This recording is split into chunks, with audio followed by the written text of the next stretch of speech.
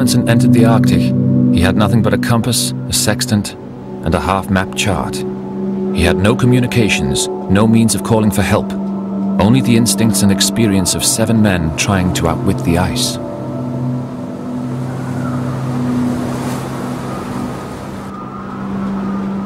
This was a group of people who realized that these environments were too big, too great, too strong to defeat. You had to use them. You had to uh, almost do a dance with these elements. And this new form of exploration is not without risks because you're very vulnerable.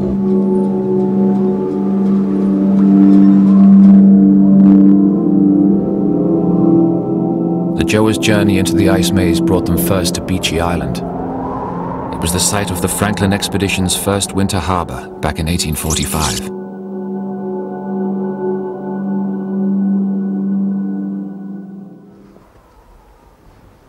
For Amundsen, it was an extraordinary moment. A chance to tread in the footsteps of his childhood hero.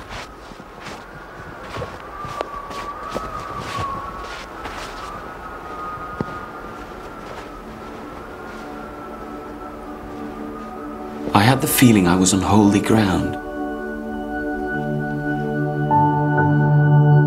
I pictured the expedition in all its splendor. The English colours flying, the officers in dazzling uniforms, Sir John's clever face full of character and gentleness. He had a word for everyone and was loved by his men.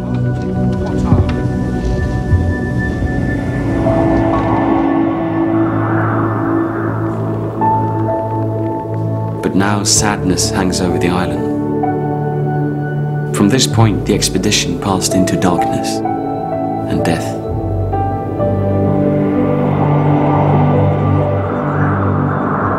The course of the 1850s, more than 40 expeditions searched for the missing men. As they did so, the once blank map of the Arctic was transformed. But no one yet knew if it was possible to navigate a route from ocean to ocean. Everything now depended on the route Amundsen took from here. His research had convinced him that the key to the passage lay to the south of Beechey Island, through a channel Franklin had taken, called Peel Sound. I think the ice is clear enough. Amundsen's gamble was based on something the Norwegian sealers had taught him, a quirk of the ice that might allow a small ship to succeed where Franklin's large warships had failed.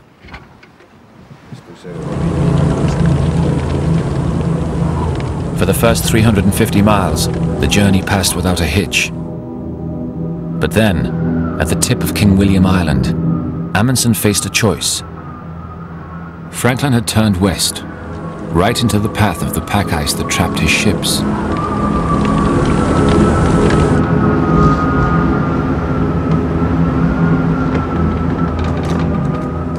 What Franklin didn't know was that he could have turned east. Only during a search for him was it discovered that a narrow channel separated the island from the mainland.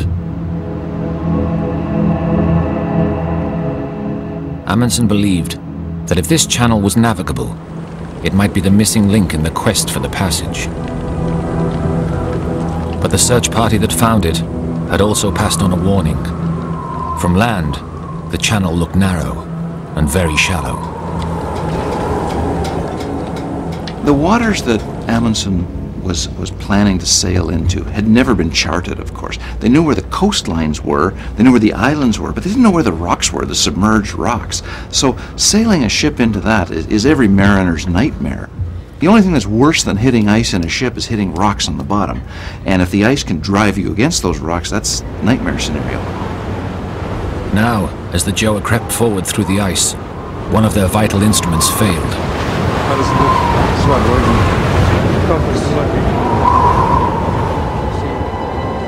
We were making our way in waters never sailed. The compass, which had gradually been losing its capacity for self-adjustment, was now useless.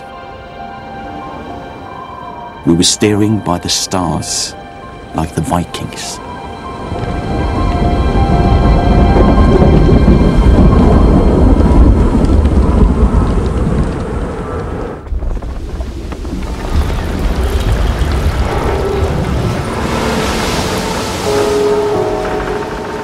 For five weeks, Amundsen and his men had been sailing through the Arctic's labyrinth of ice and islands. The search for the Northwest Passage was now taking them deep into uncharted waters. Then one night after dinner, an incident occurred that set all their nerves on edge. I was writing in my journal when I heard something that chilled me to the bone. Fire!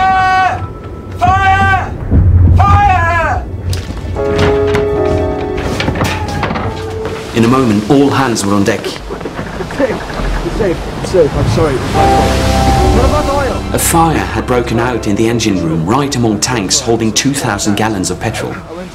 We all knew what would happen if the tanks got heated. The Gjöa and everything on board would be blown to atoms like an exploded bomb. The fire was out before it caught, but it was a harsh reminder of how far they were from help of any kind. It was now September. The Gjöa had traveled 600 miles into the Arctic ice, and within weeks, the waterways would be frozen. She was still within the narrow channel to the east of King William Island, when three days after the fire, the first of the autumn storms set in.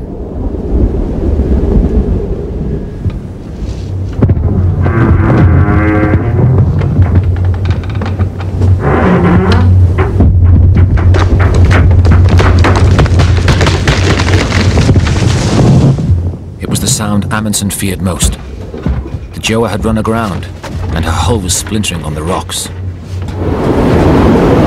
In the storm force winds, it was safer to ride out the battering with the sails down. But Amundsen gave an order that would turn most sailors pale. Ready? He was going to raise the sails Right, bring up the main! and risk losing the mast and rigging in the hope the gale would blow her off the rocks. Wind came in gusts howling through the rigging. Then we started a method of sailing that none of us is ever likely to forget. And pull! Quickly, pull! Get her on! Not going fast enough!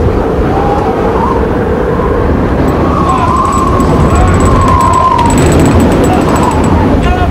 Bring up the staysail! Faster! The sleet and spray washed over the vessel. The mast trembled, yet one thump, worse than ever, and we slid off. Stop! Stop! Amundsen had taken an almost suicidal risk with his ship, but as both master and commander, the decision was his.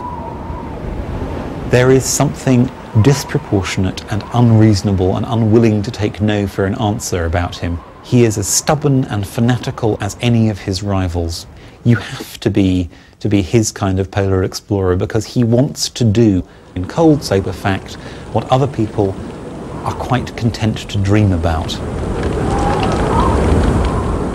They'd survived with the Gjöa intact. The expedition was now more than halfway across the Arctic, but winter was closing in. On the south end of King William Island, they found a sheltered bay where the Gjöa could be safely frozen in for the winter. They christened their new home Gjoa Haven.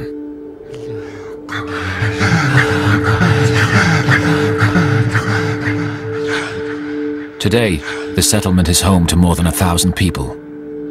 Though they live in modern housing and are connected to Canada by a daily supply plane, their life on the land has changed little.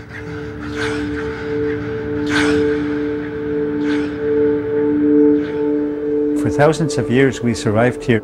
We are the igloo society people. You have to be able to know how to um, hunt and survive from the animals that you hunt here. You have to know the animal movement, the, the, the migration route of the caribou. You have to live with the seasons to know the dangers of the land as an Inuit. King William Island was where Franklin's men were stranded and died.